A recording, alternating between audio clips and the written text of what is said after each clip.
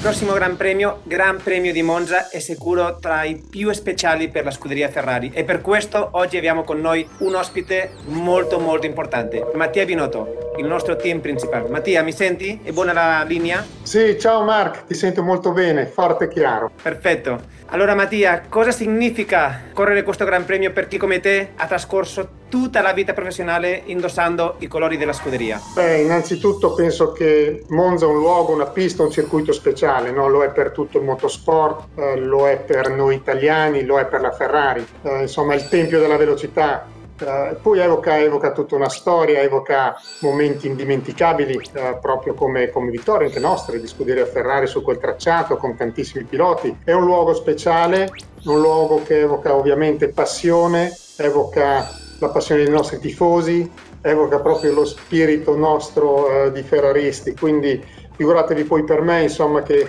sono 27 anni ormai credo che, che, vado a Monza, per me il Tempio della Velocità, insomma il Tempio del Motore, Monza rappresenta sempre qualcosa di straordinario e speciale. E di questi 27 anni o anche prima forse, c'è un ricordo più bello di altri? Beh, i ricordi sono tanti, ce ne sono alcuni anche tragici, però se pensiamo ai ricordi belli, io ne ho sicuramente un paio. Uh, il primo che mi piace sempre ricordare, 2003, Michael Schumacher che vince su Montoya dopo una gara molto difficile in Ungheria, avevamo messo in qualche modo in discussione proprio il mondiale e a Monza era indispensabile vincere, rimaneva poche gare alla fine. E ricordo quel weekend perché era stato da parte di Michael un weekend incredibile, impeccabile, battendosi ogni giro sul filo del decimo e portando a casa una vittoria che poi è stata una vittoria vittoria determinante per il resto della stagione. La ricordo molto bene, insomma, perché io in quel momento ero appunto un ingegnere motorista su Michael, quindi per me era stato un momento importante e speciale. Però se devo dirne una in modo particolare, il 2019 la vittoria di Charles. Ha difeso in ogni modo insomma, la posizione, chiudendo ogni spazio eh, dal primo all'ultimo giro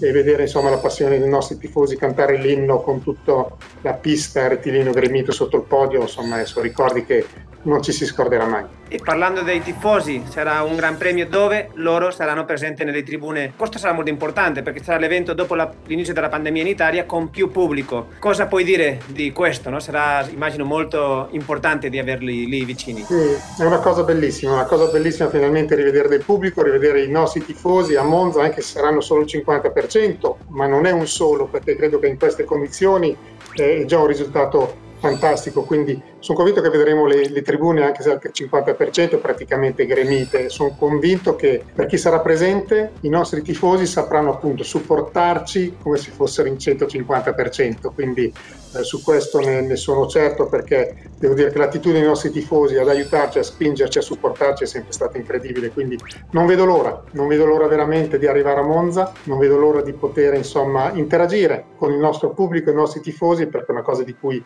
abbiamo tutti veramente bisogno. Mattia, hai definito incoraggiante la stagione fino a questo punto. Cosa possiamo aspettarci per il resto delle gare e in particolare per Monza? Beh, guarda Marco, abbiamo sempre detto, per noi quest'anno è fondamentale continuare sul nostro percorso di crescita, eh, migliorare in ogni area. Penso che il terzo posto non deve essere un'eccezione, il terzo posto sarà la semplice conseguenza del fatto che lavoreremo bene e continueremo a migliorarci. Monza sarà una gara, penso, sulla carta difficile perché sono lunghi rettilinei, abbiamo parlato prima, una pista di motore e quest'anno ancora abbiamo un handicap, un gap sul motore su quelle che sono sicuramente le, le, motorizzazioni migliori, quindi questo sarà uno svantaggio. Detto questo, sarà un formato di sprint race qualifying ancora, quindi saranno le qualifiche già il venerdì pomeriggio, vedremo chi al meglio si saprà preparare come assetto per le qualifiche del venerdì e questo darà in qualche modo forse un'opportunità diversa. Penso anche che indipendentemente dai rettilini ci sono comunque delle frenate importanti, dei cambi di direzione, le chicane, poter attaccare i cordoli sul quale potremmo, penso, con la nostra vettura dire la nostra. Quindi da un lato penso uno svantaggio ancora di motore sui rettilini, però non è detto. Non è detto perché ci sarà un formato diverso di weekend, non è detto perché se saremo bravi dovremo cercare di ottimizzare al meglio la nostra vettura e chissà mai